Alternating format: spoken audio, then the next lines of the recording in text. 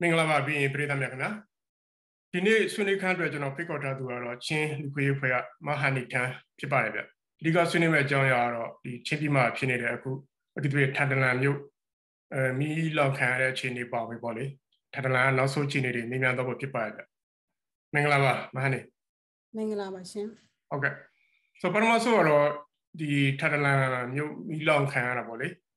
မီးရှို့ခံရတာပေါ့ဆိုတော့တော်တော် ဆိုးတယ်လို့ကျွန်တော်သိထားရတယ်ဓာတ်ပုတ်တွေမှာဆိုတော့အခုနောက်ဆုံးအခြေအနေဘယ်လိုရှိလဲပေါ့နော်တိုက်ပွဲတွေဖြစ်နေလို့လားမိလောက်နေဆက်လားနောက်ဆုံးအခြေအနေလေးကိုအရင်ဆုံးရှင်းပြပြပါမယ်ဟုတ်ကဲ့အခုလိုမျိုးထန်တလန်အတွက်ချိန်ပေးပြီးတော့ BNN ကနေစီစဉ်ပေးတဲ့အတွက်ပထမဆုံးကျေးဇူးတင်ကြောင်းပြောချင်ပါတယ်ကျမတို့ထန်တလန်မှာတော့စစ်ဖြစ်တာတော့မကြာခဏဆိုသလိုဖြစ်နေစေပေါ့နော်ပြီးတော့ဒီအရင်လကအင်ချေ164လုံး မိလောင်ပြကြပြီးတဲ့နောက်ပိုင်းမှာအရင်တစ်ပတ်ကလည်းသူတို့စကားစနေပဲအိမ်16လုံးထပ်ပြီးတော့မိရှုခံရတယ်ဆိုတာကျမတို့နောက်ဆုံးအနေနဲ့တင်ကြရှိထားပါတယ်ရှင်ဟုတ်ကဲ့ဆိုတော့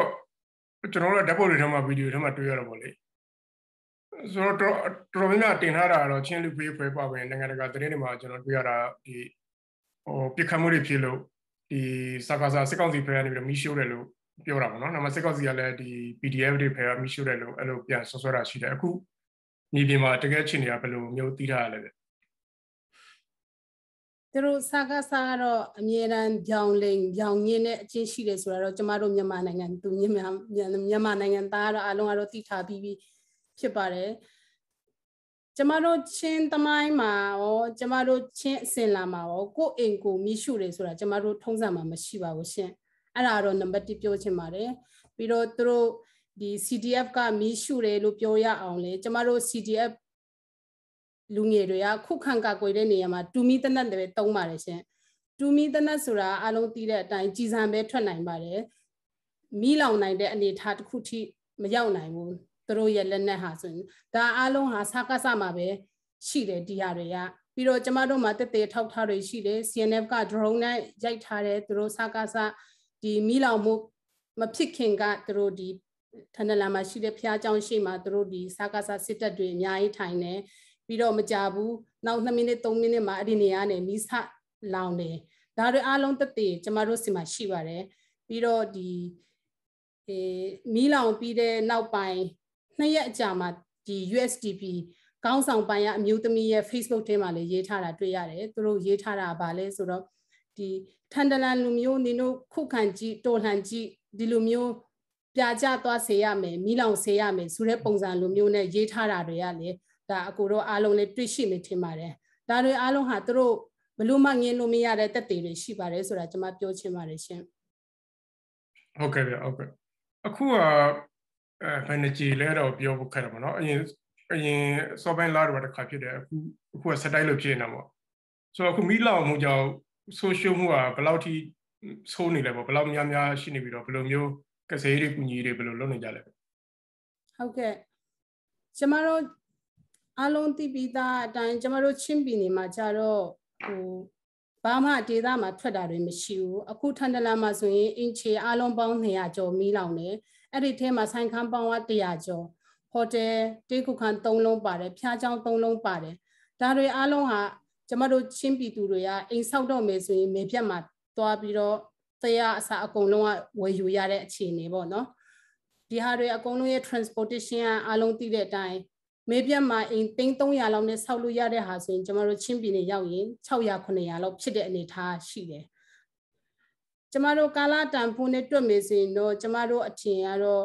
US ဒေါ်လာ20 million လောက်တော့ရှိမယ်ထင်ပါတယ်ရှင်ဒီစစ်ပေးဆောင် ပိုင်းမှာဆိုရင်တော့ကျမတို့ဒီပထမဆုံးထန်တလန်မိရှုခံရပြီးတဲ့နောက်ပိုင်းမှာကျမတို့ဒီထန်တလန်ကထန်တလန်မှာရှိတဲ့ TPAC ဆိုတဲ့ဒီစစ်ပေးဆောင်ကူညီရေးအဖွဲ့ကိုဖွဲ့စည်းပြီးတော့သူတို့ကနေပဲလောလောဆယ် data တွေအကုန်လုံးကိုကောက်တယ်ပြီးတော့သူတို့ကနေပဲဦးစီးပြီးတော့ထန်တလန်ဒီစစ်ပေးဆောင်တွေကိုသူတို့ကူညီထောက်ပံ့နေတဲ့အနေထားပေါ့နော်ဒီဒီကငွေရေးကြေးရကြတော့ကျမတို့ပြည်ပမှာရှိတဲ့မြန်မာနိုင်ငံသူမြန်မာမြန်မာနိုင်ငံသားနဲ့ ပြည်တွင်းမှာရှိတဲ့အလူရှင်တွေရဲ့အထောက်ပံ့နေပဲအခုချိန်ထိတော့ကူညီဆောင်ရွက်နေတယ်ဒီ IDP ပိုင်းမှာဆိုလည်းသူတို့ဒီကျမကြီးအပိုင်းမှာဆိုနေဆရာဝန် volunteer အနေနဲ့ပါဝင်ပေးတဲ့ဆရာဝန်ကိုဦးနဲ့ NASMA 22ဦးကူညီပေးတဲ့ volunteer ဆရာဆရာမတွေရှိတယ်အခုထန်တလန်မြို့နယ်တွေမှာဒီ IDP အတွက် camp ၃ခုလဲဆောက်လုပ်ဖို့ပြင်ဆင်နေတဲ့အနေအထားမှာရှိပါတယ်ရှင်ဟုတ်ဟုတ် NDP တွေကဒီထန်တလန်မြို့မြို့မိလို့ရွာတွေမှာသွားနေကြတာဒါမှမဟုတ် ADR ဘက်ကိုဖြစ်ပြကြတာဟုတ်ကဲ့ဒီ IDP စင်းအရတော့လူသူတို့ရဲ့ IDP စင်းမှာကြတော့လူ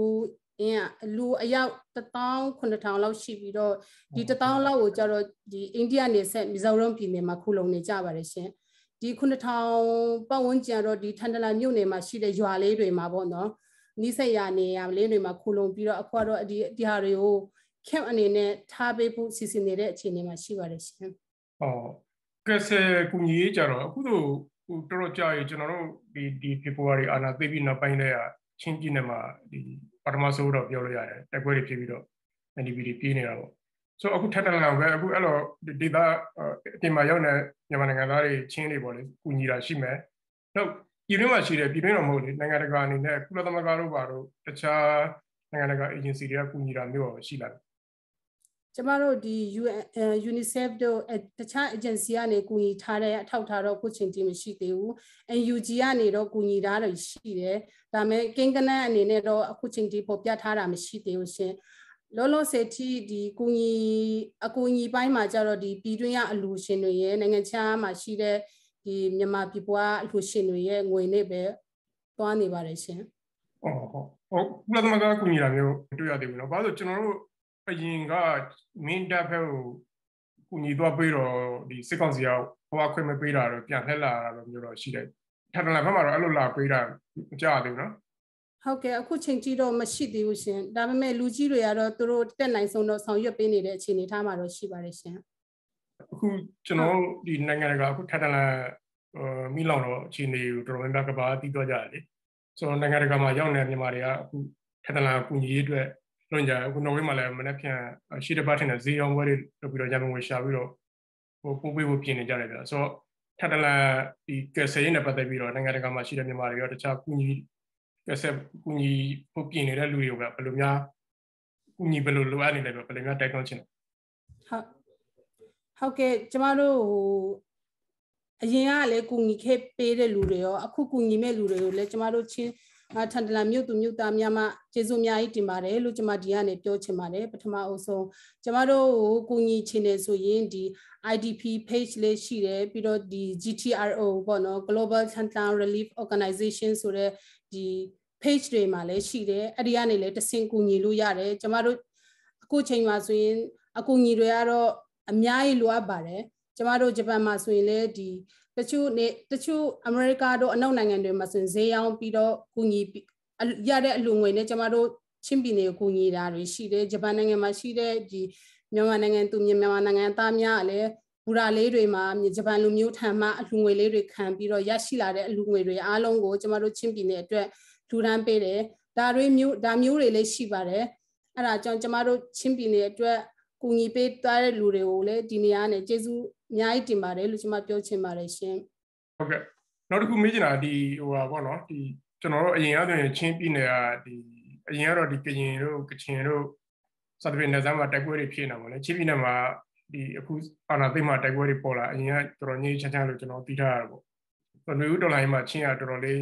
ရှင်းတရောက်နေပေါ့ဒီအထူးသဖြင့်ထန်တလန်တို့ဟိုဘက်မှာသမင်းတာတို့ ဆိုတော့ချင်းပြည်နယ်ကဒီလိုတက်ကြွတဲ့ပုံမှာနိုင်ငံရေးအာကျွန်တော်ကုညီကစေးလုပ်နေတဲ့လူတယောက်အနေနဲ့ဘယ်လိုများအကူယူလာဘယ်လိုများမှတ်ချက်ပေးချင်လဲဟုတ်ကဲ့ကျွန်တော်တို့ချင်းပြည်နယ်ကျတော့ခေတ်ဆက်ဆက်ရဲ့အစိုးရရဲ့ UNICEF မှတ်တမ်းအရအစင်းရဲဆုံးဒေတာတစ်ခုဖြစ်မယ်ဒါပေမဲ့ကျွန်တော်တို့ချင်းပြည်နယ်မှာအခုချိန်ကြီးတော့ဟိုဟို တရောင်းစားတွေပါတယ်မရှိဘူးကျမတို့ချင်းတိုင်းရင်းသားတွေဟာဆိုရင်ယူသားပြီးတော့ကြိုးစားတဲ့လူမျိုးဖြစ်တယ်မတရားတာတွေမြင်ရင်ငင်ခံတဲ့လူမျိုးမဟုတ်ဘူးဒီတော့ခုခံတော်လန်ပြီးတော့အမှန်တရားနဲ့လွတ်လပ်မှုကိုမြင်လို့တဲ့လူမျိုးတွေဖြစ်တယ်ကျမတို့ဒီဖေဖော်ဝါရီလမှာစစ်တပ်အာဏာသိမ်းကလေးကရရလက်နက်ကိုဆွဲကင်ပြီးတော့လွတ်လပ်ရေးအတွက်ကျမတို့ပြတ်သားခိုင်မာတဲ့ဆုံးဖြတ်ချက်နဲ့ຫນွေဦးတော်လန်ရေးရေးမှာလဲဆိုးလင်းစွာပါဝင်ခဲ့တဲ့ ပါဝင်ခဲ့တယ်ကျမတို့ဒီတော်လှန်ရေးလည်းမကြခင်အောင်မြင်မယ်လို့ကျမတို့ယုံကြည်တယ်အဲ့ဒါနောက်ချင်းပြည်နယ်မှာဘေးအာနာရှင်စနစ်မှာအမြင့်တွေလို့မရတော့တဲ့ကိုကျမကိုရွေးချယ်ဖန်တီးနိုင်ပြီးလွတ်လွတ်လပ်တဲ့တရားမျှတတဲ့ပြည်နယ်တစ်ခုအဖြစ်ကျမတို့မြင်ချင်ပါတယ်ရှင်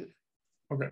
ဆိုတော့အခုစေအနာသေးတာလဲကျွန်တော်ကိုလာကြော်ပြီဒီဒီတနိုင်ငံလုံးနှီးပါပေါ့လေအထူးသဖြင့်အရင်က ဟိုစေမဖြစ်ဘူးတဲ့ကျွန်တော်တို့အခုချင်းတို့စကိုင်းတိုင်းတို့မကွေးတိုင်းတို့အဲ့ဒီမှာတော်တော်များများပြင်းပြင်းထန်ထန်ဖြစ်နေတယ်ဆိုတော့အထူးသဖြင့်ချင်းတွေချင်းလူငယ်တွေပေါ့လေကျွန်တော်ကြီးစဲတွေပေါ့အခုဥဆောင်ပြီးတော့ပါဝင်နေတာရှိတယ်ဆိုတော့ဒီတော်လိုင်းနဲ့ပတ်သက်ပြီးတော့ချင်းလူငယ်တွေရောနောက်ဒီကုညီ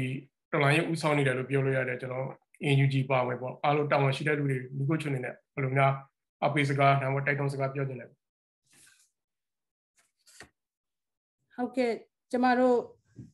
ဒီနေ့ဤပညာခေတ်မှာဆရာနာရှင်ကတော့ရေရှည်တည်တံ့ဖို့ဆိုတာမလွယ်ပါဘူးအထူးသဖြင့်ပြည်သူလူထုကနီးမျိုးစုံနဲ့ကျမတို့တခဲနဲ့တော်လှန်နေတဲ့အချိန်ဖြစ်နေပါတယ်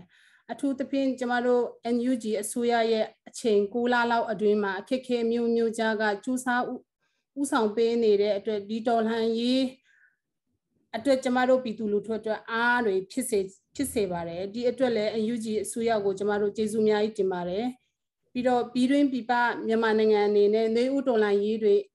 ကျမတို့အစွမ်းကုန်ကြိုးစား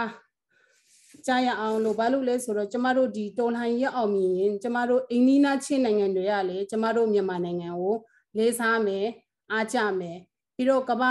အလေမှာလည်းကျမတို့တွေကျမတို့နိုင်ငံဟာဆိုရင်ဂုံယူရမယ့်အနေအထားတစ်ခုမှရောက်ရှိသွားနိုင်တယ်ပေါ့နော်အဲ့ဒါကြောင့်ကျမတို့လူငယ်တွေရောလူကြီးတွေရောအကုန်လုံးဒီတော်လှန်ရေးမှာ မလျှော့သောဇွေနဲ့